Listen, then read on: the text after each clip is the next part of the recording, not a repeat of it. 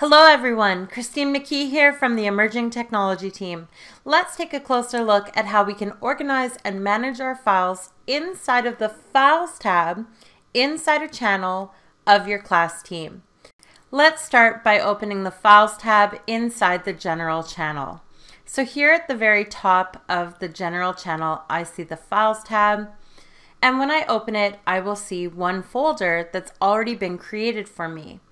That's the class materials folder. Now this is a unique folder because this is where a teacher can put files that they do not want students to be able to edit. This is what's called a read-only folder. So in other words, students can open and review the files that you put inside of class materials only the teacher can edit those files or documents. Now, to add files or documents inside the class materials folder, I can either create a new file to work on right here inside of Teams. Notice when I click the drop down beside plus new, I can add additional folders to organize my class materials folder, or I can create a blank Word document, Excel workbook, PowerPoint presentation, a new OneNote notebook, or forms for Excel. Notice that I can also upload existing files or folders from my device or my OneDrive. Let's go ahead and upload a file from my OneDrive.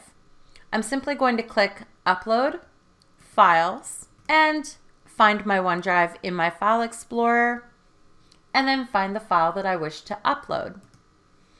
Once I've selected my file, I'm simply going to click open and we'll give that a moment. This will upload that file to Microsoft Class Teams inside the class materials folder in the files tab in the general channel.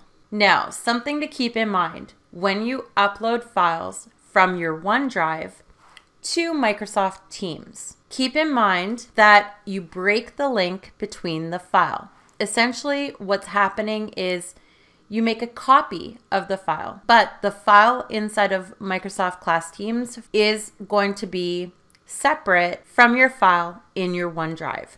So if you make changes inside the document or the file in Microsoft Class Teams, those changes will not appear in your original file in your OneDrive. All right, let's check out the Files tab of other channels. I'm going to click on the Renaissance channel and notice that I have a Files tab inside of this channel. All channels you create will have a Files tab located here in the tabs along the top of the window. Now notice that I've already created a new folder. So again, if I click on the plus new drop down, I can create folders to organize my files, and I can create a variety of blank documents. I can also upload files and folders inside the Files tab in this specific channel. So what's handy about using the different files tabs inside the channels is you can organize your content to share out with your students.